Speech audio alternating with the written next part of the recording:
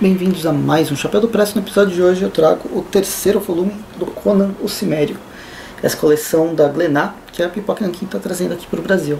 Essa aqui é a terceira, como eu disse, terceira edição, tem as, as histórias ori originais Profetas do Círculo Negro, Inimigos em Casa e Deus na Urna. E são três ao invés de quatro, como vinha sendo publicado até então. Tem um vídeo do Pipoca Nankin, eles explicam porque diminuíram o número de contos. Uma porque ia diminuir o preço, que por causa dos aumentos de papel e tudo, ficou o mesmo preço das anteriores. Então continua sendo caro. E outra porque a Glenar ela acabou atrasando o lançamento das revistas, né, das histórias que ela ia publicar. Então, nesse momento que o vídeo está indo ao ar, que a revista foi lançada, esse terceiro volume foi lançado, eles estão publicando acho que a 14 edição o que corresponde. A gente teve 4, 8, né? 4 na primeira, 4 na segunda, 8, é, 9, 10 e 11, que tem aqui, 9, 10 e 11, 12, 13 e 14. Então o próximo volume 4 vai ter as edições 12, 13 e 14, fechando tudo que foi publicado do Conan. Vai continuar, pelo menos o projeto que continue, mas daí vai demorar um pouquinho, pelo menos o quinto volume. O quarto volume, até o final do ano, provavelmente vai, vai ser lançado. Bem, eu devo dizer que essa acompanhar esse Conan está sendo interessante porque inicialmente eu não tinha gostado. Tem uma formiga andando aqui no, nas minhas revistas. Inicialmente eu não tinha gostado. Eu tinha, não sei, eu tinha me incomodado com os personagens, o personagem, a forma como o Conan era, foi trabalhado, a questão é, de não continuidade, tanto na questão de arte quanto questão de roteiro e que, bem, primeiro volume teve uma outra história que eu gostei, as outras não gostei tanto. O segundo volume eu já gostei mais, talvez por uma expectativa um pouco diferente, né? uma, um alinhamento de expectativa. E esse terceiro volume é o que eu mais gostei até agora. Tem menos histórias, mas ainda assim eu achei bem legal. Não quer dizer que eu não tenha me incomodado, não tenha me chamado a atenção algumas coisas. E foi justamente a primeira história que mais me pegou naquele jeito hum, será que eu estou gostando? Bem, com o passar das páginas eu pude contestar que sim, eu estava gostando. Mas o que me pegou foi o desenho. Bem, quem fez o, os Profetas do Círculo Negro é o Sylvain Ruben Humberg com Park Jae-kwan. Park Jae-kwan é um coreano, então o traço dele tem muito, muito da pegada do mangá. Pelo menos a, a caracterização dos personagens, os olhos especificamente a, quadrin, a quadrinização, os, os enquadramentos, eles têm uma, uma semelhança, eles vão mais para a linha, né, para a escola europeia. Mas o lance dos, dos desenhos, dos olhos né, dos personagens, principalmente, é o que mais me pegou, me incomodou. Não sei, eu leio mangás, leio desenhos, né, quadrinhos com desenhos dos mais variados.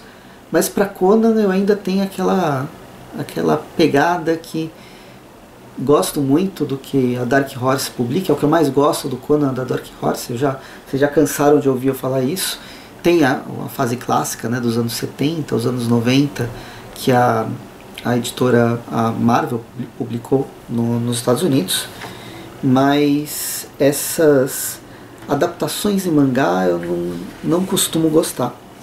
Bem, a história ela me convenceu mesmo não gostando muito dos desenhos, mas depois curtindo justamente a parte de ação que a, a história que o, os, os autores proporcionam. Então, o desenho ele funciona muito nas cenas de ação, nas sequências de ação.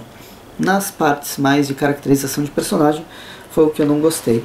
E é um, uma sequência de viradas e reviravoltas de roteiro.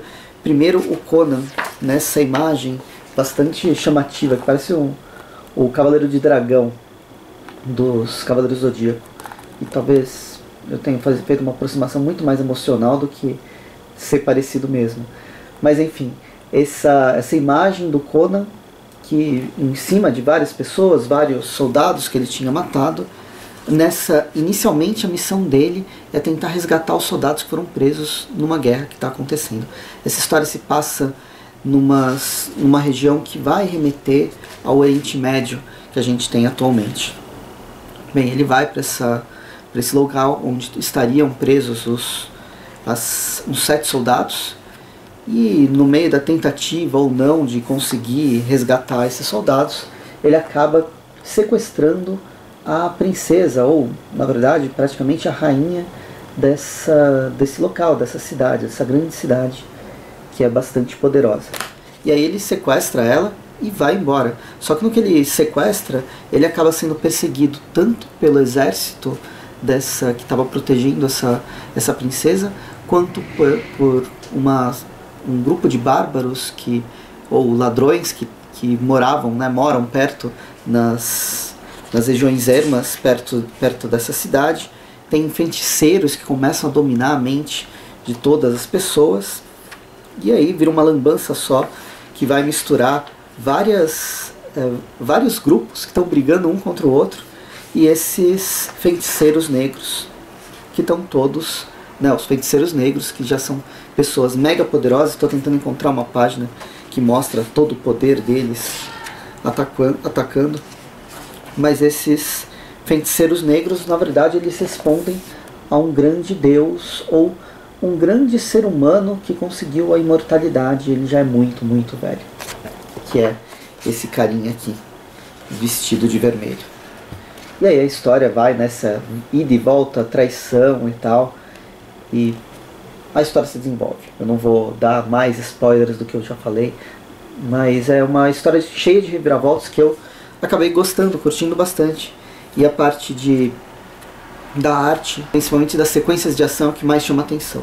Em seguida a gente vem para Inimigos de, em Casa, do Patrick Luinet, com Paulo Martinello. Essa aqui a gente vê, começa com o, o Conan presenciando a morte de um amigo, um colega de alguns roubos que ele praticava. Esse colega ele foi denunciado por, pelo cara que tinha contratado o Conan e esse e esse carinha e ele vai atrás tirar satisfação. Então a história ela começa com essa vingança tirada de satisfação, mas aí ele é contratado por um nobre para tentar matar um sacerdote e aí ele poderia ser, sair livre dessa cidade ainda com alguma riqueza e no meio disso existe um grupo dentro da cidade que também quer matar o sacerdote e vira uma guerra de tentativas de golpe. Mas essas tentativas de golpe, né, a tentativa de matar esse grande sacerdote, que é o, o cara que domina tudo, ele tem um elemento não sei se eu diria sobrenatural, ele vai sugerir um sobrenatural aqui, mas é muito mais de questões obscuras, né, desconhecidas, crípticas, que no lugar do, do grande sacerdote tem um cara um, um ser simiesco, que é o que dá a capa da edição, que seria uma, uma, um outro tipo de ser humano ou uma outra espécie humana que ainda vive numas montanhas. É bem, é bem interessante a forma como se faz a adaptação. Se a gente for tentar trazer para os contos do Howard, é um conto bastante racista, né? que traz, cria essas sociedades baseadas nas sociedades que a gente tem atualmente, mas de forma bem no melhor estilo de evolução social. Então, é, não, não é legal. Mas os autores souberam fazer uma adaptação bem interessante.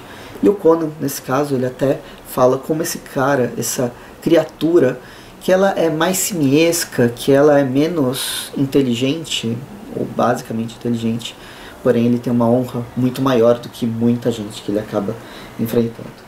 E por último, a gente fecha esse encadernado com O Deus na Urna, que é do Doug Headline, com Emmanuel é, Civiello, ou Tiviello.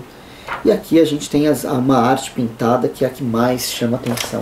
E tem um roteiro também muito interessante, porque ele vai misturar uma espécie de é, investigação.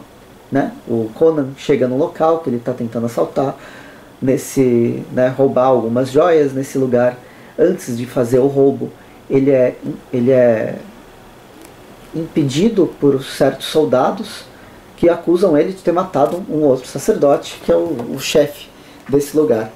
E o inquisidor, o investigador que está junto, ele quer evitar que o Conan mate todo mundo. Para evitar isso, ele tenta usar da sua inteligência e vê que no Conan não tinha matado ninguém. Então talvez ele tenha cometido crime, mas não seja aquele crime, a gente tem que descobrir quem que matou o grande sacerdote. E aí a história vai se desenvolver nisso, numa narrativa bem interessante, que vai pular de acusado em acusado. Por exemplo, a gente tem o, a história do Conan, que ele está invadindo o local, aí a gente vira a página e vai para a página 146, que é intitulada Aros. Nesse momento, a gente muda a percepção para o Aros. A gente está lendo a partir da, do olhar do Aros. E as, os balões de pensamento são deles. Nas páginas a gente vai virando, a gente encontra o Demétrio. E aí a partir do Demétrio. E aí a narrativa ela vai intercalando e alternando numa coisa linear. Ela, ela existe linearidade na, na forma como como está se procedendo, na forma como está se desenvolvendo. Mas a perspectiva muda a cada, a, cada novo subtítulo né, de quem apresentando esses personagens. E aí envolve também é, deuses ou humanidades, criaturas ancestrais mais antigas, 10 mil anos antes da era iboriana, que já é há 10 mil anos atrás. Então são questões que o Robert Howard trazia como ciclos de civilizações que foram criadas e deixaram de existir ao longo do, de vários anos.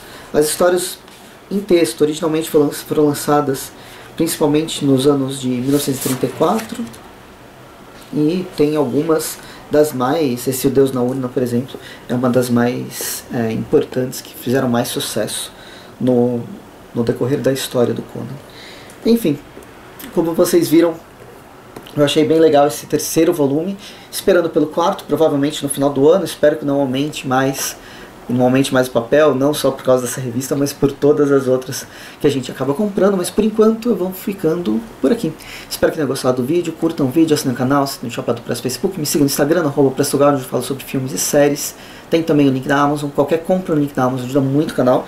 Conan vocês encontram exclusivamente por lá, embora algumas outras comic shops vocês também encontram e comprando pelo através desse link que tem aqui embaixo me ajuda bastante a trazer sempre coisas novas. Além disso tem o Fortaleza Quântica, que é um podcast onde eu faço com o Rafael do Multiverso 38.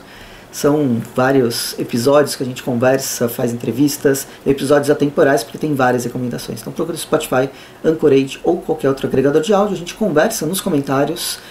Quero saber o que vocês acham dessa, dessas histórias. E é isso. Até mais então e bons quadrinhos.